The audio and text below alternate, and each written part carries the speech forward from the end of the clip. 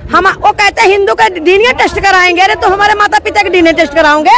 हम ब्राह्मण हैं, अयोध्या से हैं। भैया, हम ब्राह्मण अयोध्या से हैं।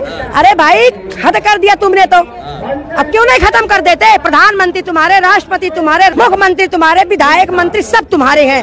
तो क्यों नहीं तुम राष्ट्र बना देते? क्यों ये राजनीति कर रहे? क्यों लड़ा रहे हो आपस में? क्यों ऐसे बैर बना रहे हो? हिंदू राष्ट्र चाहिए। हमारे देश की बेरोजगारी दूर होनी चाहिए।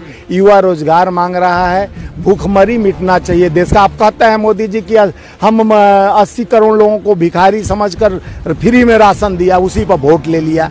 तो फ्री का प्रथा बंद हो रोज़गार अगर मिल जाएगा तो फ्री मोदी जी ठोक रहे हैं ना चैलेंज वो 2024 में उनकी चैलेंज दिखा दी जाएगी। अरे कल्याणी तो कर रहे हैं बेटी बचाओ बेटी पढ़ाओ घर से भगाओ रोड पे लाओ बलात्कारियों का मौका दो रोड पे सुलाओ यही तो काम कर रहे हैं। ये विकास नहीं हो रहा है, अमेरिका बनाएँगे यहाँ पे।